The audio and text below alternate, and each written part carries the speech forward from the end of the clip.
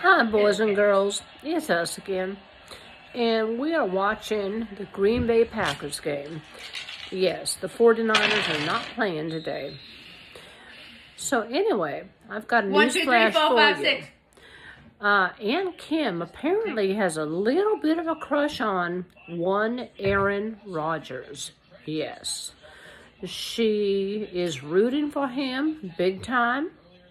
She's making sexual connotations about him. No, no, no, no. Don't say that. He keeps calling me, but I won't pick up phone. Another thing I noticed about Aaron Rodgers this game Always is on the sidelines mm-hmm. calling me.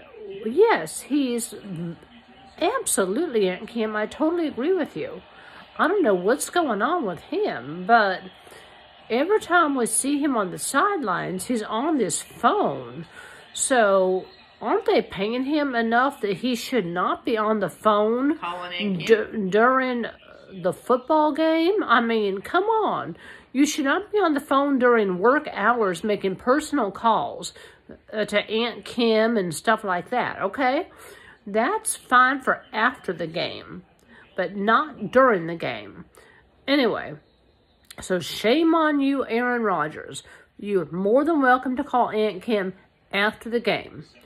Anyway, love you, bless you, bye Felicia's.